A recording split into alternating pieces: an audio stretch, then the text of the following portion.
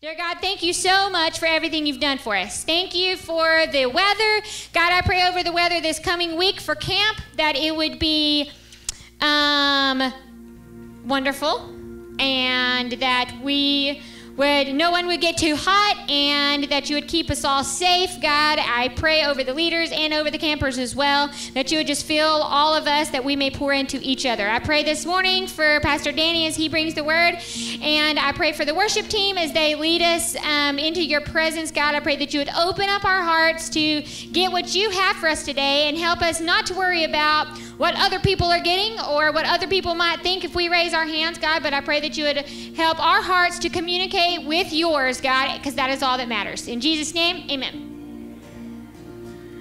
All right, if you want to stand with us and worship together this morning, the battle belongs to Him this morning. When all I see is the battle, you see the victory.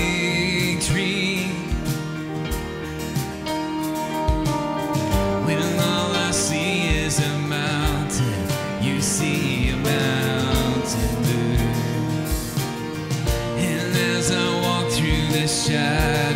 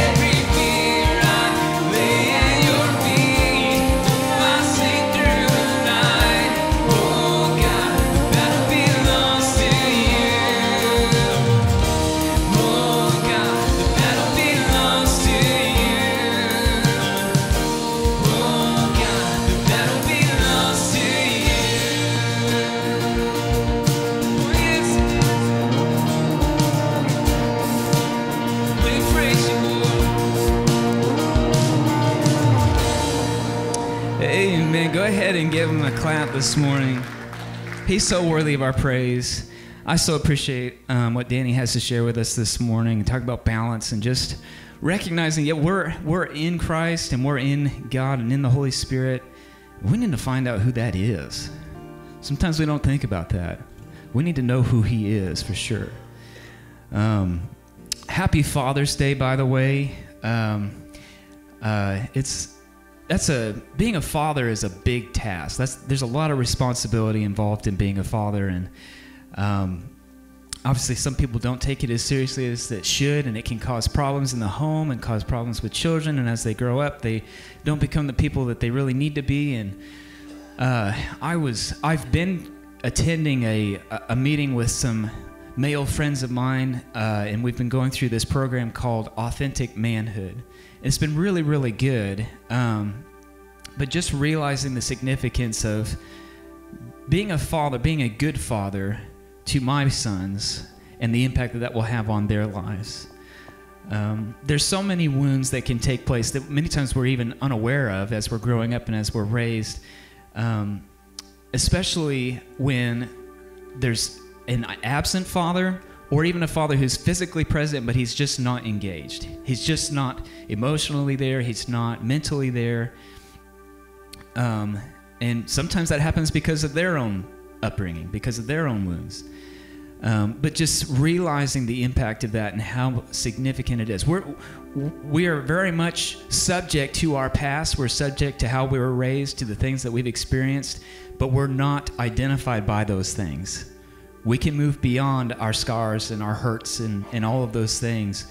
Um, but it's important for us to realize that though earthly fathers fail many times, our Heavenly Father will never, ever fail us. Though many times we've seen completely absent fathers, our Heavenly Father is never absent. He's ever present, He's always there. And in the same way that Many fathers may be present, but they're not engaged. Our Heavenly Father is always engaged and listening. He's always got his ear and his face toward us, seeking connection with us. He's made himself his self available to us and he wants to connect with us. All we have to do is turn to him, open our hearts and connect with him. He's there every time. Every time. Thank you, Father.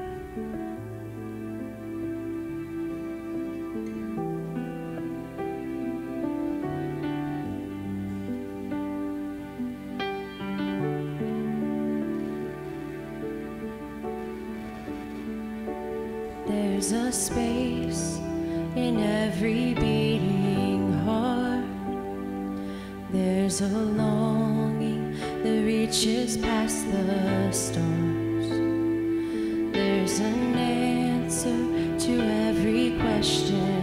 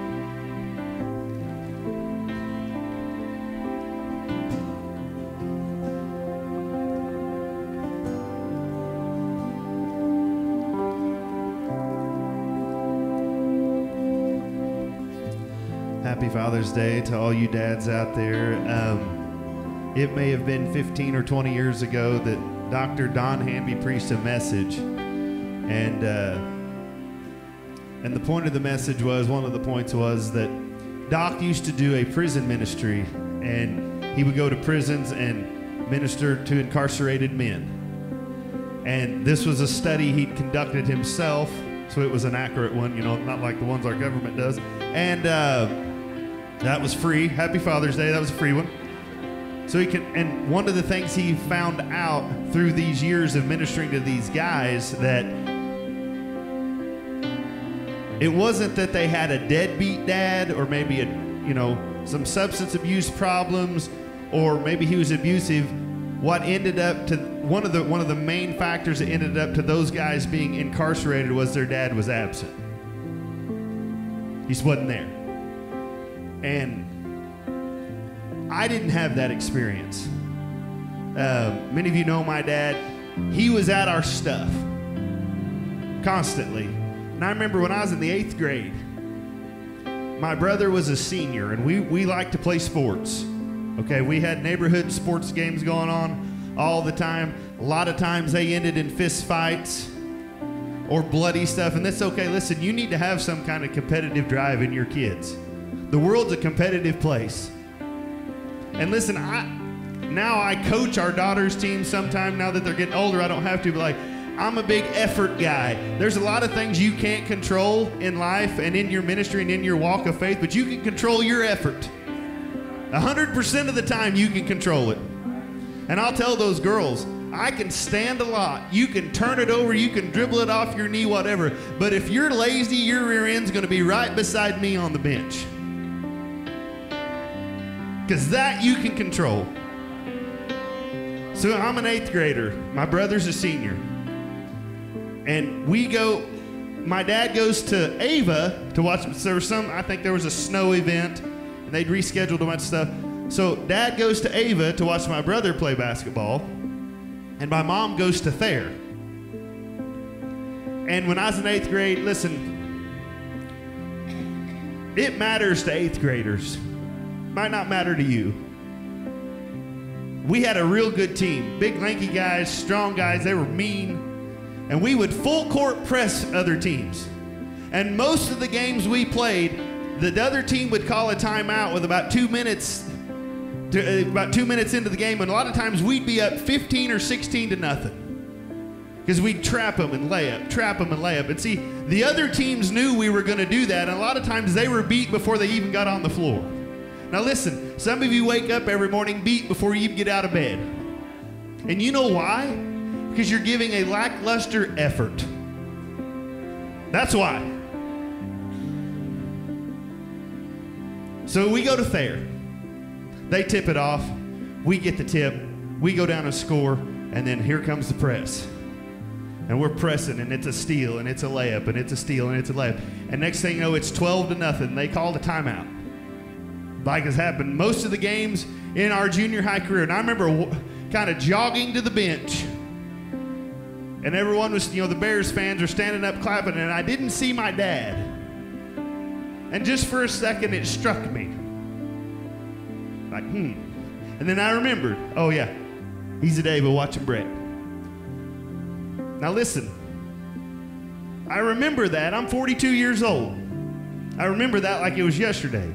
So, you dads, you don't have to have the right things to say. You don't have to have a speech prepared. You don't have to come with your $100 bills falling out, although that helps. But being there matters. Being there matters. Showing up matters. All the important events of my life, my dad's been there. He's been there. He doesn't always, well, he usually has something to say. But I'll tell stories about my growing up. You know, dad's different than he was, you know, 25 years ago. But you know what? When we got married, Audrey and I got married, he was going through the, we had tuxes. People wore tuxes back then, you know, in the old days. We wore a tux when he got married. And he, I remember him finding DL's coat. And he said, Davy boy, this must be yours. He said, it's as wide as it is long. You know, those kind of things. That's right. That's what a man's coat. When I was a junior, we played West Plains in football, and we beat them right at the end of the game. And the, these things are just things that happen in life. And it, it was a, it was a, I didn't realize until I got out how physical those games were. Usually somebody was in the hospital after them. And I caught a pass along the, the, the stadium side late in the game and ran down the sideline, stiff armed a guy, and got, I mean, smoked out of bounds.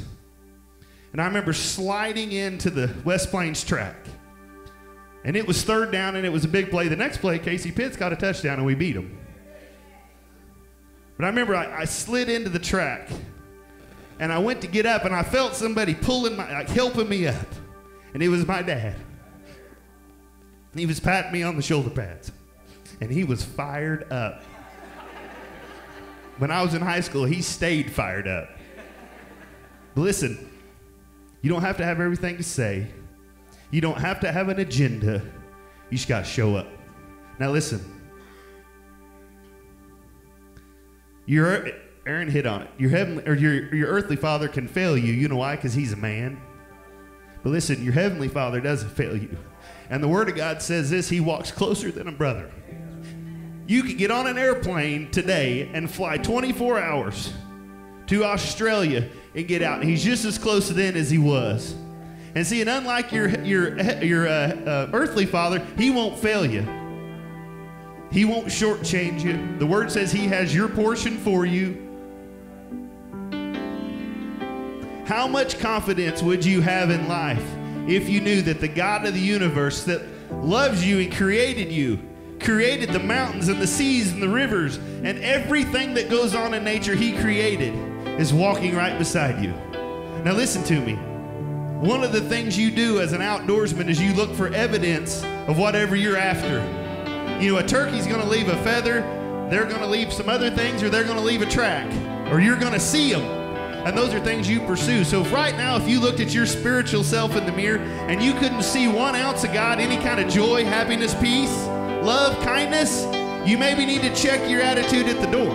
Maybe you're giving a lackluster effort and God's got you on the bench. And He stands you up and says, Listen, you're giving a lousy effort, but I believe in you. I believe in you. You can do more. Get back out there. He walks closer than a brother. He'll never leave you and forsake you. The word says this He knit you together in your mother's womb. Not one of your days came, uh, He ordained every day before one of them came to be. Say, He is with me. Say it again. That, that was pretty weak.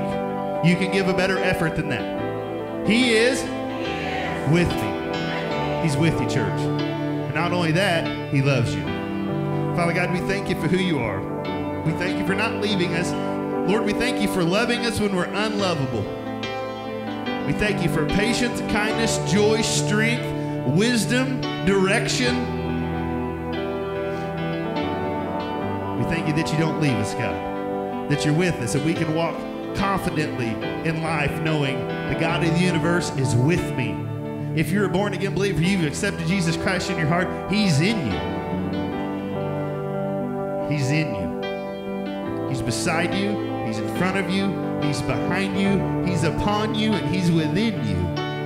And we thank you for that, God. We acknowledge that this morning. We thank you for that. We thank you for the example that you've set. Father God, help us, us dads in the room, just to show up. Show up. Ushers, you come, Lord. We thank you for who, that, who you are. We love you this morning. In Jesus' name.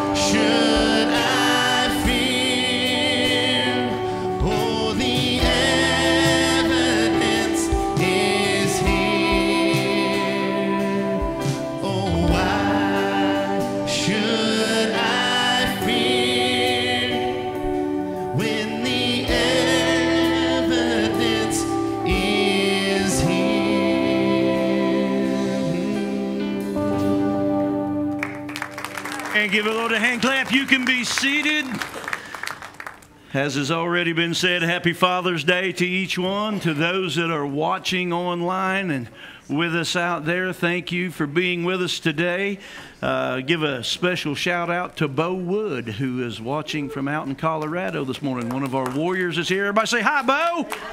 Amen. Your church family in Willow Springs love you, and we're glad you're with us today, as well as others that are watching. Um, God bless you. So, this is a really big week. Uh, not just uh, Father's Day today and recognizing that and and uh, and all that is, is is associated with that, and we're going to recognize those fathers that are here today. Uh, but this is Camp Week. Everybody say pray.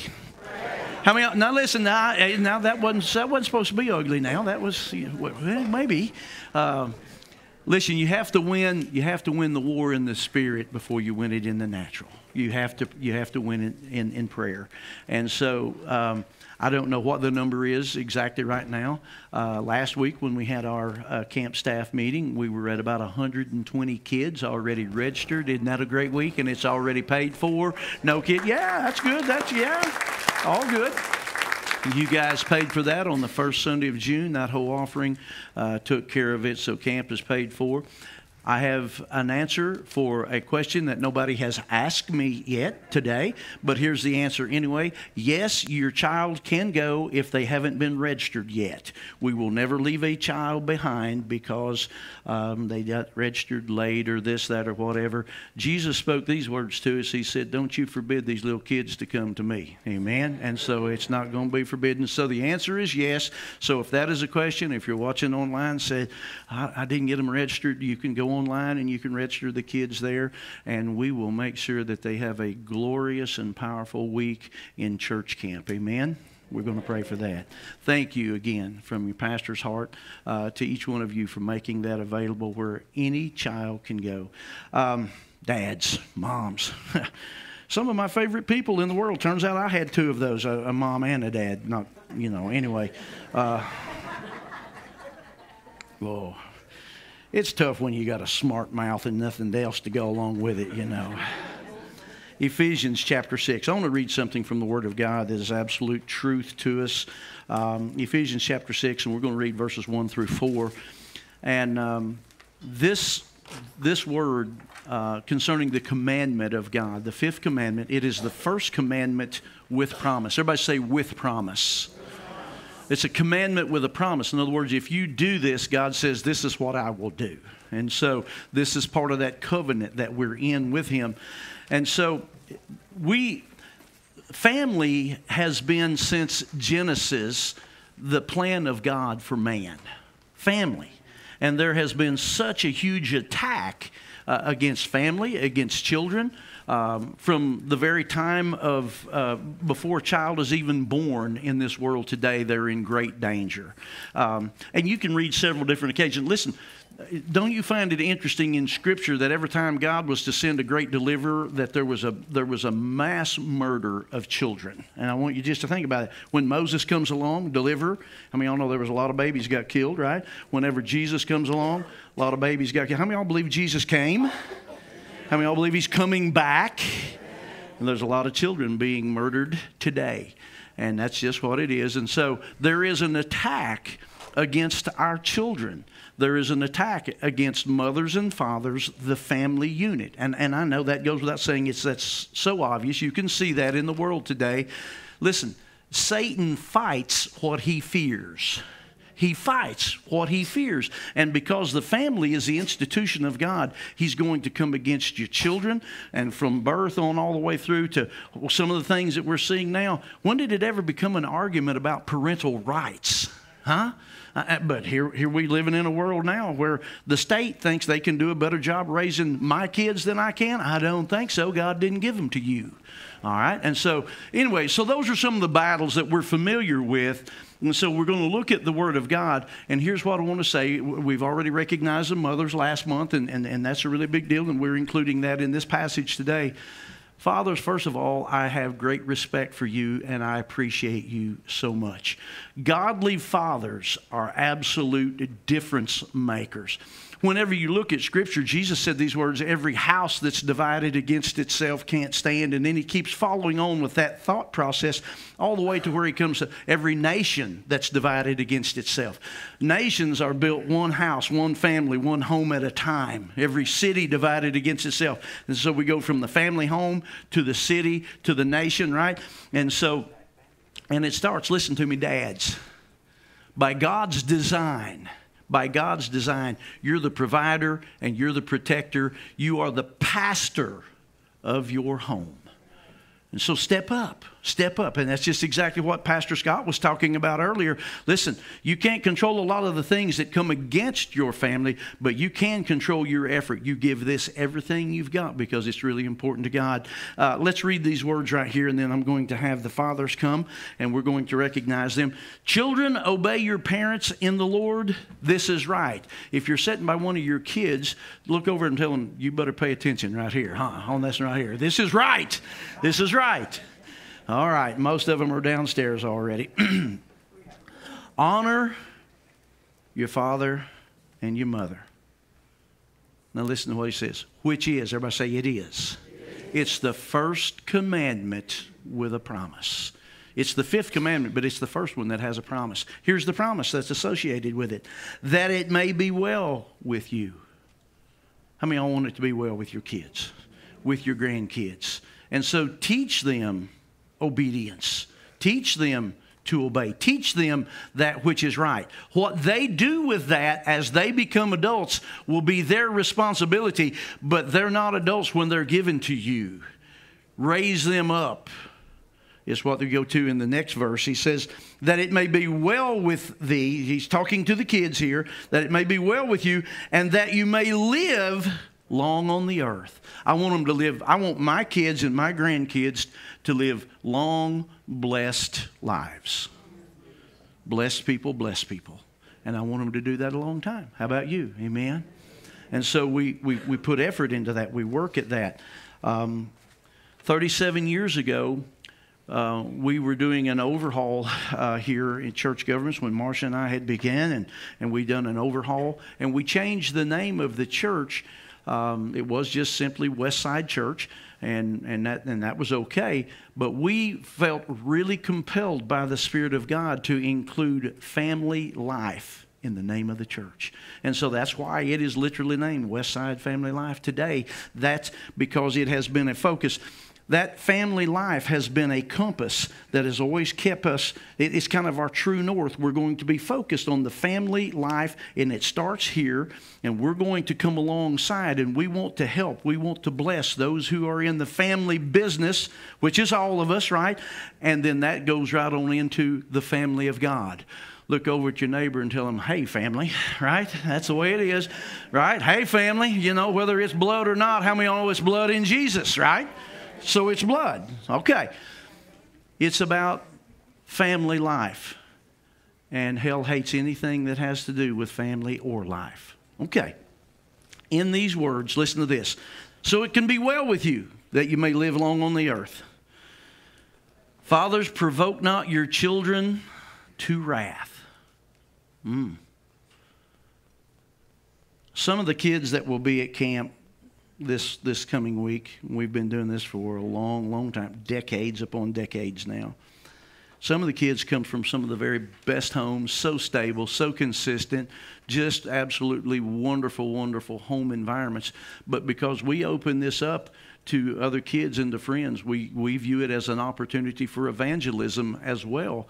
And whenever you do that, sometimes you have some kids from some really broken homes and broken lives, and they come in and, and we look at kids, and well, they're just kids. Uh, you would be absolutely astonished. The teachers here, I'll guarantee you know, the school teachers here know what some of these problems are. School counselors that are here in this congregation know what are some of the problems that some of our children have to deal with. Amen.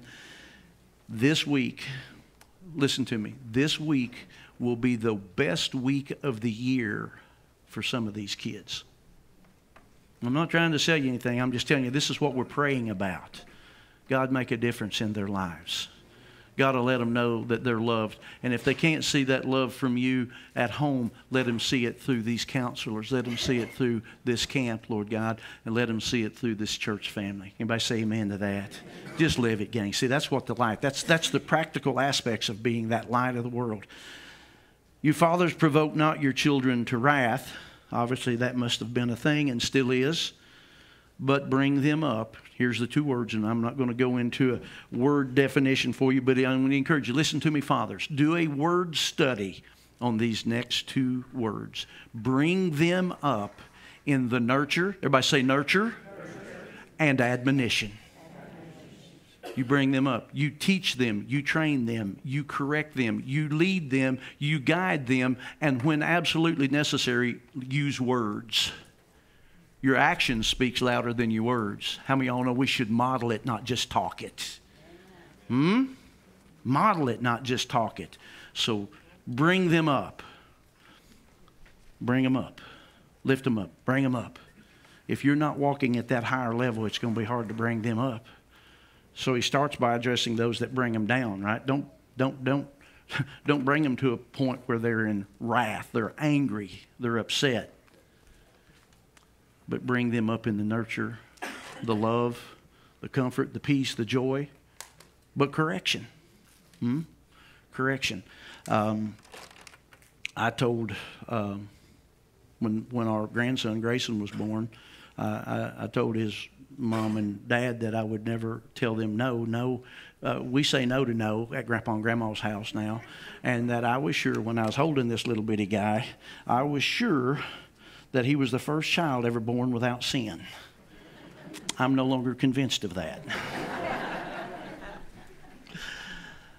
Would all the fathers come to the front? You know the you know the process right here. What we want to sow into you, though, on the altars, and if we don't have enough on the altars, we've got some more here on the front pew. We have a devotional for you, and we want you to come and get it. We want to sow the Word of God into your life. So, if all the fathers, grandfathers that are here, if you would please come, and uh, please come and, and get you a devotional. he's watching. He's watching. Uh, come and get you a, a devotional, and we're going to have special prayer. Isn't this, isn't this a glorious sight? I want you to think about the power and the impact of this many godly men. Godly men. It's one thing to be a man, it's another thing to be a godly man. And I want to take just a moment to address you guys. There was, a, there was it was just like this in the early service. It, it, it, was from side to side right here. And, and so I, I don't know uh, however many's up here 30 or 25, 30, 40, whatever's here, same in, as in early service. You're a part, listen to me, men, you're a part of something that's God ordained. God said it this way. He was very intentional. Kind of Rory, thank you for serving. He's usually back and back taking care of business. Um, you're ordained of God. You're walking in a place in a position that God ordained from the very beginning. It's really important. It's really important. And um, I have nothing but respect and appreciation for your job, the sacrifices that you make. Um, it wasn't always easy for your dad, Pastor Scott, to be there time after time because he's a working man. And uh, he put a lot of effort into being there. And, uh, and it's the same for you. You don't get an easy walk on this one right here. I'll just be honest with you. When you read about all those men of faith, men of faith, um, all of them, I think, had in their sword and in their shield, I think, less that they probably had some dents where the enemy had come against them and they shielded and they had some nicks in the fight and in the sword. I don't want to get into heaven and sit down beside some of these guys like Joshua and some of those guys like that and say, well, look at your pretty sword, DL. It ain't got a dent in it nowhere, huh? Huh? It's a fight, gentlemen. It's a war, but it's worth it. Your babies are worth it, and your grandbabies are worth it. Your family is worth whatever the cost. And you pay that price, and God's trusting you with that. And I'm excited to be a part of that. In this church, I want you to know you're not in it by yourself, but this church come alongside you. That's why we put family life in there. We'll walk it with you. Anybody say amen? Put your hand up this way for those that are watching online. We're praying with you and for you as well. God bless you, fathers. We love you that's watching online. Father God, we thank you for these godly men We're not perfect men in our own abilities, Lord God, but we're only perfect. We're only righteous through Christ Jesus and that exchange that He gave to us. We thank you for wisdom, and I pray for that wisdom for these men, Lord God. These are trying times, these are testing times, and we need godly wisdom to know how to lead our families, how to protect our families, how to feed our families, Lord God. Thank you, Father, for these godly men and wisdom. We pray for peace and we pray for joy as they walk this out before their families lord god i pray that they would they would model the peace of the lord in their life that they would model that joy by which we get our strength and that our children and grandchildren would see that, Father God, even in hard times or in frustrating, trying times, Lord God, that they could see Dad or they could see Grandpa in a way by which they are walking this thing out in a godly conduct, Lord God. Father, we thank you for the opportunity to shine as lights, not just in our families at home, but in our families at church and in our community, Lord God. We ask for your strength, we ask for your wisdom, and we give you thanks for these godly men, these fathers and grandfathers. We thank you for them, and we ask blessing upon their life. In Jesus' name we pray. And everyone that agreed said, Amen. God bless you guys. We love you. Thank you. Give them a hand. You seated. Amen. If there is some children here or a wife that would like to make sure that one of your husbands, uh, the father at home, gets one of these devotions, please come. We've got several left over, and uh, they have been purchased just to give them away. So we want to make sure that you get hold of one of those. Um, let's pray real quickly concerning church camp. And then Pastor Danny is going to share a word. Uh, we're still continuing for a couple, three more weeks in this In Him series. And Pastor Danny approached me uh, about a month or so ago and said, Hey, I really feel like the Lord has a word uh, that He wants me to share with the congregation. And um, that is our goal. I'm not in love with the sound of my own voice. It's, this is not my pulpit, this is God's house, His pulpit. And whoever He has given and anointed the word for, how many of y'all want to have something fresh manna, huh? Good, good heavenly bread. And so that's what we want. And so Pastor Danny's going to come and, and, and give you the word. He's going to be talking about walking in balance. And such an important subject in our world today. Let's pray for church camp. Father God, we thank you for our staff, for our counselors. We thank you for the facility down there at Rock Garden.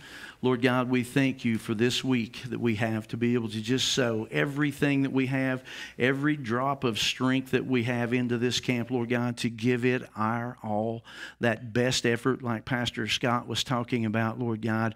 We pray, Father, that those lives will be touched, they will be instructed, they will be encouraged, they will be strengthened, Lord God. And these young campers, Father God, will grow up. We've watched it now for decades. A lot of the children that we have seen come through camp are now adults with families of their own, Lord God, and they're raising them in church. Thank you for them, Lord God. We ask your blessing now upon every aspect of camp 2024 in Jesus' name. Everyone agreed, said amen. Make Pastor Danny welcome. Our senior adults pastor, Pastor Danny Hicks. We love you. Thank you, man.